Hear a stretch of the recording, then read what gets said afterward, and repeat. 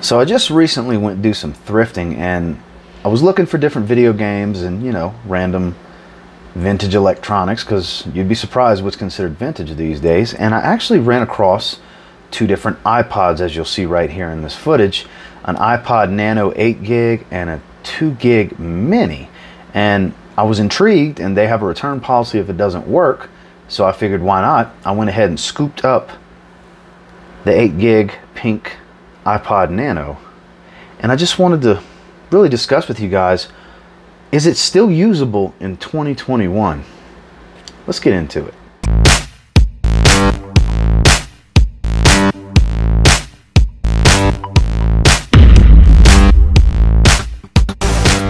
So, as you can see, it does have signs of use and a little bit of abuse, but nothing too severe where we do have some nice deep scuffs in the glass and the wheel's a little bit dirty and there's a few scuffs here and there and then this is still a little bit of adhesive from the stickers that I can't completely get off but it does have its fair share of scratches as well that iconic stainless steel back. It is an 8 gig. It says smart pants at the top. I don't know if that was some custom engraving. And then has the 30 pin the old school 30 pin connector auxiliary jack for headphones, and the hold button. So when I got it home, I was skeptical that it wouldn't work.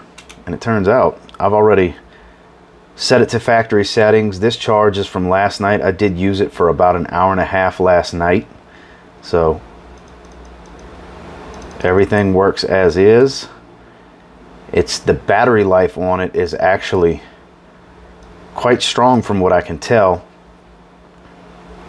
So I'm actually overall pretty happy with it.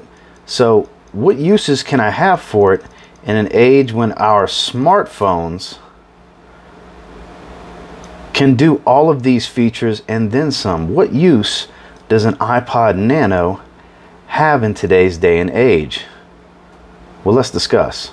So obviously 8 gigs of capacity is not a lot these days, but I did manage to put, as you saw, quite a bit of albums on here and it's one of those deals where I actually got it with using it for the gym in mind. So why would I want to use this for the gym instead of my Samsung smartphone?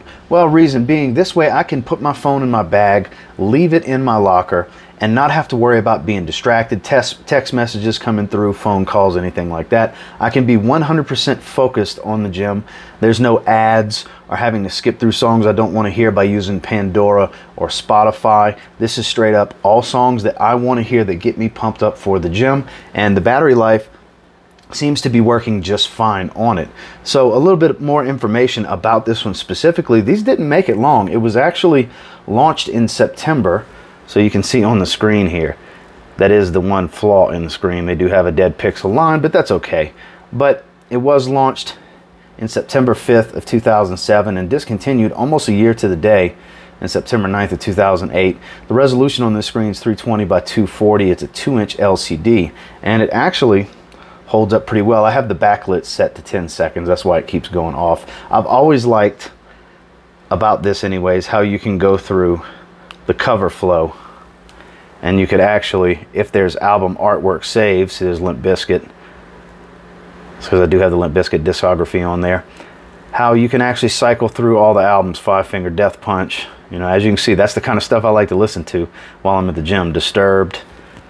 It's actually quite a cool piece of tech for its age. Yes, it shows its age, but it still has uses if you don't like the distractions that a smartphone can provide when doing an activity of sorts, like going to the gym, like I do. So it's advertised as 24 hours of battery life. I doubt I'm going to get 24 hours of battery life on this, but it seems like it's still pretty strong overall.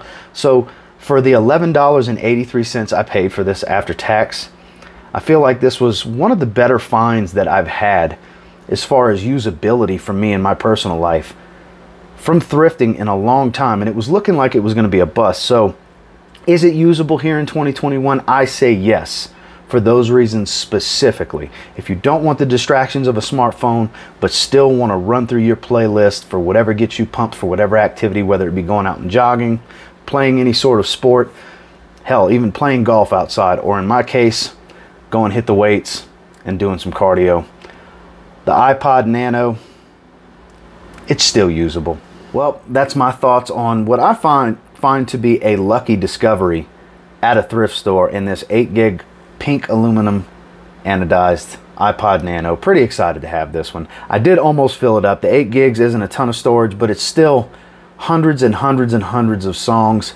I think I got over a thousand songs on it already. More than enough for me to cycle through from when I'm working out. So keep your eyes peeled. Thrifting's always a blast, and you never know what you'll find between pawn shops, Goodwill, Salvation Army, and thrift stores because I ended up finding this and I'm super happy with it. Until next time, do me a real quick favor. Go ahead and like, comment, subscribe because I do appreciate all the feedback and I love hearing from you guys. Um, how many of you still use older iPods? You know, it's they have their uses. I, I definitely have a use for it specifically.